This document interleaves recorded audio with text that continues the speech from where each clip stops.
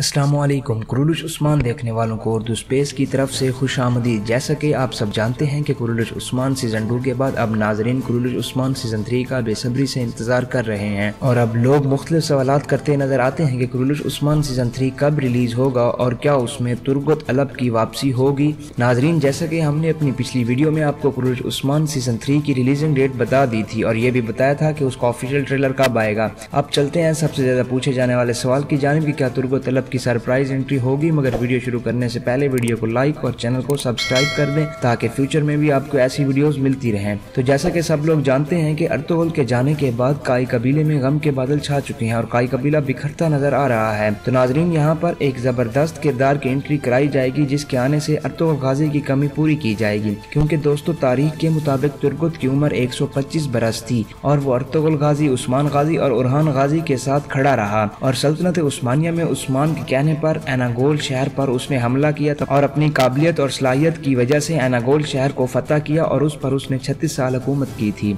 Turgut बहादुर होने के साथ साथ एक अक्लमंद शख्स था, जिसकी वजह से वो अर्तुगल गाजी के दौर में तुर्गुत वज़ीर के तौर पर काम करता रहा और अर्तुगल ने उसे सिपा सालार बना दिया था। इसलिए नाजरीन, जल्द ही तुर्गुत की एंट्री कराई जाएगी और वो उस्मान गाजी के साथ काम करता हुआ नज़र आएगा। और सवाल फिर ये उठता है कि क्या वही पुराना तुर्गुत दिखाया जाएगा या नहीं अभी इस बात को राज रखा गया है और आप अपनी राय कॉमेंट बॉक्स में बताइएगा कि क्या आप भी मेरी तरह पुराने वाले तुर्गुत को देखना चाहते हैं। तब तक के लिए अल्लाह हाफिज और अगर वीडियो अच्छी लगे तो वीडियो को लाइक और चैनल को सब्सक्राइब कर दें ताकि आने वाली वीडियो की अपडेट आपको मिलती रहे।